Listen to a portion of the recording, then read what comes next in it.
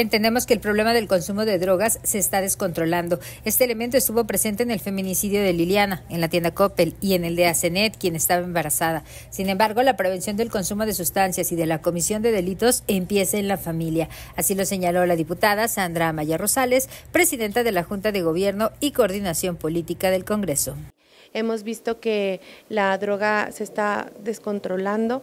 Sabemos que hay esas personas, que tanto la persona de, de Coppel como la de esta última, de Pánuco, fueron personas que estaban drogadas, pero más que eso, pues es eh, justamente lo de la familia, la base, el, poder, el, entender que tenemos que eh, eh, reconstruir ese tejido social con la familia, el buscar la, la manera en esos programas, porque el gobierno también es el responsable de que la familia esté bien, el que haya programas suficientes para que la familia se, se incluya en la juventud, en el deporte, la cultura, todo esto que nosotros hemos impulsado desde la tribuna eh, en, las leyes no sirven de nada si no se llevan a cabo en las instituciones correspondientes. Nosotros hemos pedido que ese presupuesto que vaya directamente a nuestros jóvenes, hemos impulsado el que el Instituto de la Mujer esté mejor, el Centro de Justicia, pero no solamente en el tema reaccionario, sino en el que evitar que todo esto suceda, el evitar que lastimen a nuestras mujeres, a nuestras niñas.